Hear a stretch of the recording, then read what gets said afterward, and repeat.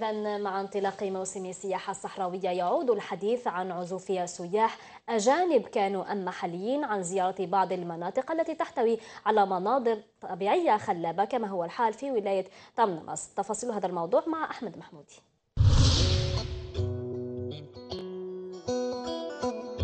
تمنراست عاصمة الأهاجار التي تأخذك لتكتشف أسرار الطبيعة أين تحس بذاتك وتندهش بإعجاز الخالق؟ ولاية فيها من المؤهلات الطبيعية ما يكفي لجعل الجزائريين يحجون إليها للسياحة لكن الواقع عكس ذلك والسبب واحد. دار لك une réduction من الجنوب للشمال. هو c'est le contraire حنا نسحقوها من الشمال للجنوب. إيه كي هضرنا معاهم قال لك c'est OK نديرها لك من الشمال للجنوب واش يدير لك العفسانتين باغ اكزومبل نتوما زوج من الناس حابين تجيو يقول لك نو لازم دير ليا ان ديزان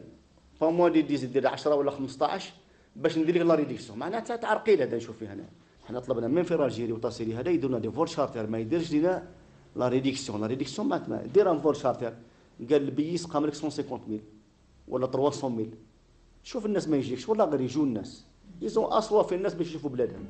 من 9637 سائح أجنبي توافدوا على تمنراست سنة 2007 إلى لم يزر المنطقة سوى 78 سائحا هذه السنة تراجع مخيف حتمته معطيات سلبية ومخاوف أمنية لما يحدث في دول الجوار بالنسبة للسياحة تاع les réceptifs كاين les fidèles هذوك les fidèles mais c'est des quelques-uns زعما آه، يتعدوا على الاصابع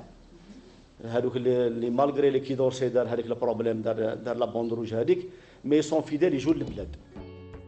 ولاية تمنرست وبلوحاتها الفنية الطبيعية تبقى فاتحة أذرعها لاستقبال كل من يريد التمتع بها في انتظار وضع استراتيجية سياحية فعالة تجعل من هذه الولاية قطبا سياحيا يدر على البلاد بموارد مالية تنقص من التبعية الحادة لقطاع المحروقات.